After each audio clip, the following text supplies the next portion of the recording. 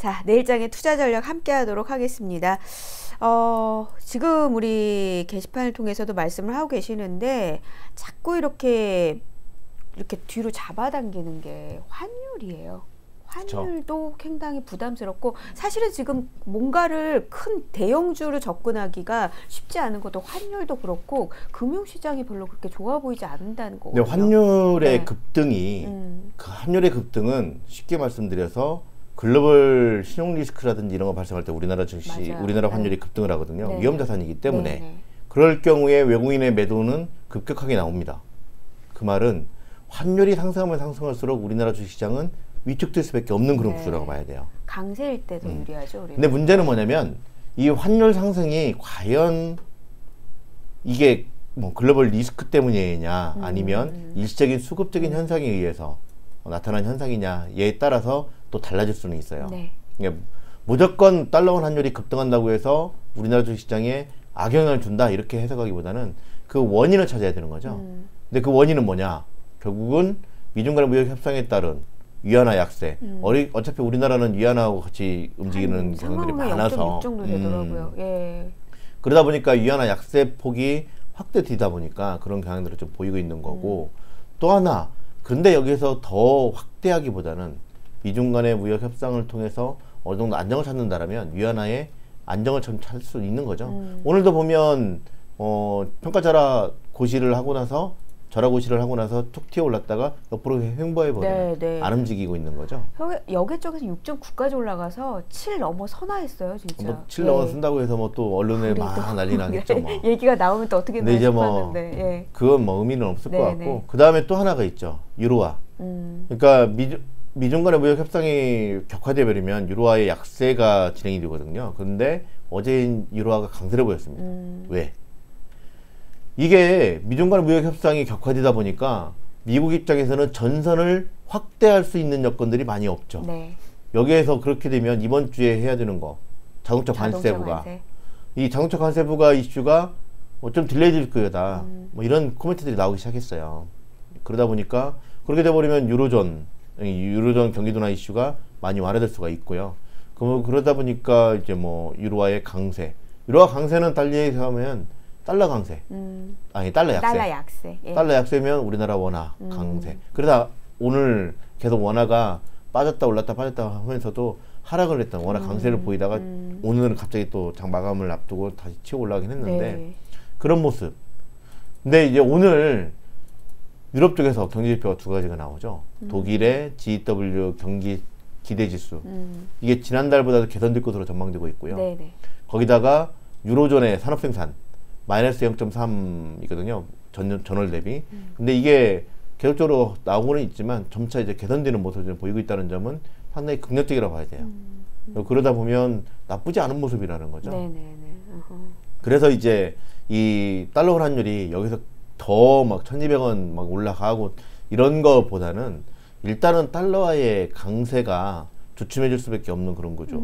그 다음에 이제는 6월 1일까지 그러니까 이번 달 말까지 그 무역 협상과 관련된 코멘트들은 지속적으로 나오겠죠. 예. 수면 아래로 가라앉았다고 봐야 돼요. 이제는 아, 왜 그러니까 그러냐면 지금, 보다 센 건 안 나올 거다. 여기서 네. 뭐 세게 나와봐야 네, 네. 의미가 없죠 이제는. 음. 음. 그러다 보니까 그 관련된 이슈보다는 유로존 쪽에 영향 코멘트를 맞춘다라면 유로화의 강세, 음. 그러면 달러 환율의 하락, 음. 원화 가치의 상승이겠죠. 그 말은 우리나라 주식시장에 강세를 유지, 시킬수 있다는 점도 고민해봐야 돼요. 네. 근데 또 하나가 있죠.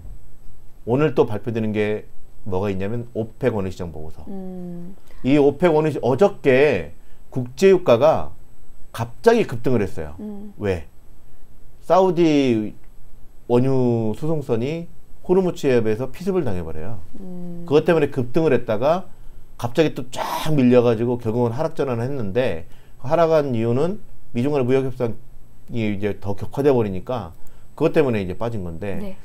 자 그러면 이걸 때 빠지고 올라갔던 요인이 그거잖아요. 호르무즈 해협 관련돼 가지고 이란 이슈잖아요. 네, 네. 그러면 오늘 OPEC 원유 시장 보고서에서 사우디하고 UAE 음. 얘네들의 생산이 증가했느냐 여부가 관건이에요. 음. 지난번에 트럼프가 사우디하고 우리 합의했어 증산할 거야 뭐 이런 식의 코멘트를 했지 않습니까? 음. 근데 관련된 정말 증산을 했는지 이 여부가 국제유가의 변동성을 키울 수가 있고요. 네. 그 결과에 따라서 또 오늘 우리 시장 내일 음. 우리 시장에 영향을 줄 수가 있고 달러의 움직임에도 여가 영향을 음, 상당히 거니까. 많죠. 예, 예. 예, 그런 문제들이 여러 가지 복합적인 걸 하지만 가장 크게 우리 시장 최근 들어서 움직이게 만들었던 무역 협상 이슈는 이제 당분간은 수면 아래로 가라앉을 수밖에 없다. 음. 이게 물론 이제 내일 정도까지는 영향을 줄 수는 있겠지만 큰 여파는 안 줄 것 같아요. 그리고 내일 어 보면 중국과 미국의 음. 그 실물 경제 지표들이 음. 발표가 있는데 산업 생산이나 이런 것들이 발표가 좀 있잖아요. 물론 전원달 전월보다는 소폭 둔화될 수는 있겠지만 모르죠. 뭐 더 증가할 수는 있는 거니까 네, 그런 문제들. 그래서 이제는 당분간은 한 1, 2주 정도는 다른 쪽에 초점을 맞추자. 음. 이중간의 무역 협상보다는 다른 쪽으로 음. 다른 쪽 유럽과. 중국 쪽의 경제 예. 경제 지표나 이런 쪽에 초점을 맞춰서 시장이 대응을 하는 게 좋을 것 같다.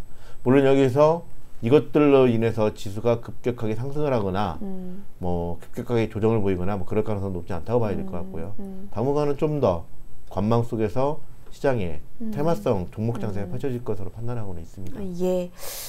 여전히 바뀐 건 없고요. 어, 종목을 하나하나 지수가 좀 많이 뭐라 그럴까요? 그렇게 크게 안정되지 않은 모습 속에서 종목 찾기는 좀 쉽지가 않거든요. 근데 지금 거의 한 달 동안 이러고 있는 상황이기 때문에 어, 그런 시장의 움직임은 여전히 변하지 않았다라는 점 말씀을 하셨습니다. 근데 시각은 이제 미중 무역 협상보다는 다른 쪽에서의 이슈들에 보다 더 민감하게 반응할 가능성이 있다라는 점도 체크를 해주셔야겠네요. 네, 그리고 또 이제 달러 원 환율이 이렇게 급등을 해버리니까 네. 예를 들어서 1,180원, 90원 정도잖아요. 근데 네. 2분기 전체로만 보면 1,170원 정도가 네, 네, 거의 네, 네. 평균이라고 보시면 돼요. 네. 1,160원, 70원 정도가 음. 작년도 2분기 때 얼마였냐면 음. 1,070원, 60원이었어요. 음, 자, 그러면 좀- 100원 정도가 올라가죠. 그러면 수출주에는 괜찮네. 그러면 예. 물론 이제 이렇게 올라가 버리면 네. 이게 올라간 요인이 글로벌 경기 둔화 이슈 때문이다라고 하면 수출주를 이때 사면 안 돼요. 그쵸, 예, 오히려 예. 매도를 해야 되는 네, 시기거든요. 네, 네, 네. 그랬는데 만약에 이거 올라갔던 요인이 안정을 찾게 되면서 달러 원 환율이 하락을 하게 되면 음. 자 그러면 2분기 때 평균 환율은 1,070원 정도, 음, 1,170원이잖아요. 작년, 오- 요- 우리 그러면 작년에 네. 비해서 한 100원 정도 최소 한 60원에서 최대 한 100원 정도가 더 올랐다라는 네, 거죠. 네. 삼성전자 실적을 할- 그 분석을 할 때 10원 올라갈 때 얼마씩 증가를 하냐면 좀 많이 증가를 하죠. 몇천억 드니까. 음, 그러면 예를 들어 100억 정도 아니 100원 정도 상승을 했다고 치면 조 단위로 오히려 가만히 있어도 음, 증가를 합니다. 음. 그러니까 2분기 실적이 우리가 생각했던 것보다도 상당히 개선될 수가 있다라는 거죠. 음, 음, 그런 부분들에 그러니까 그거에 초점을 맞추기 위해서는 결국은 환율이 올라갔던 게 재차 안정을 찾는 과정 속에서 일단 수치가 잘 나오려면 이 정도 수준에서 움직여야 되니까. 네. 어. 그러니까 참 그쵸? 그러니까 그런 시나리오가 있어서 반도체를 보자라고 얘기하기 지금 어려운 거예요. 어, 그렇죠. 여기서 네. 만약에 더 급등을 네. 해버리면 시장 자체가 물론 이제 가격은 좋아질 수는 있는데 네. 향후에 이거 수요라든지 이런들의 부대함이지기 때문에 음. 매물이 나올 수가 있거든요. 근데 여기에서 재차 안정을 찾으면 그거보다 환율. 작년도 2분기에 비해서 환율 효과가 때문에 음. 수출 관련주들 특히나 반도체라든지 삼성전자 이런 쪽에 수출 관련주들의 실적이 우리가 생각했던 것보다도 더 좋아질 수 있다는 점은 환차익으로 음, 음, 그쵸, 물론 이제 그쵸. 뭐 수치만 나오니까 환차익이 환차익 때문에 어 좋아졌다라고 할 수가 있으니까 네, 네. 그런 부분들을 항상 고민을 하셔야 될 거예요. 음, 그러니까 기본적으로 환율이 안정화가 되는 걸 보면 이제 그때 그 모멘텀이 더 커질 수 있다는 그러니까 거. 기회가 되는 게 6월 말까지 이게 합의가 합의가 됐다. 네, 네. 그러면 환 그 달러 원 환율은 계속 하향 조정되겠죠. 음, 음. 근데 전체적으로 6월 2분기 평균으로 보면 그러면 한 1,070원 정도, 60원 정도 되겠죠. 음. 그러면 이제 작년에 비해서 좀 많이 올라가 있으니 네. 어, 7월 초반에 발표가 되는 삼성전자의 실적은 상당히 좋아질 수 있다. 우리가 사- 워낙에 나쁘게 지금 하향 조정되고 있는 상황에서 그게 좋게 나오면 어, 그때 또 이제 상향 조정되겠죠. 네, 실적 네. 추정치가. 그런 것들을 고민을 하셔야 된다는 거죠. 그렇습니다. 예, 조금 한 달만 더 일찍 가 주셨으면 좋겠고 또 하나가 이제 6월 달에 좀 좋은 얘기들이 좀 나와줘야 된다는 얘기죠. 어, 아, 가정이 좀 많습니다. 그렇기 때문에 지금은 일단 시장의 흐름들을 어, 확인하고 계속 재차 체크하는 그런 부분들이 되고 그런 흐름들이 나타난다면은 아마 조금 더 여러분들 투자 전략 세우시는 데는 좀 용이할 것 같습니다. 지금은 앞서서 팀장님의 예, 좀 투자 전략대로 어, 지수보다는 이제 종목별 매매에 조금 더 집중하는 전략들이 당분간 지속될 것이다. 이렇게 보시면 될 것 같네요.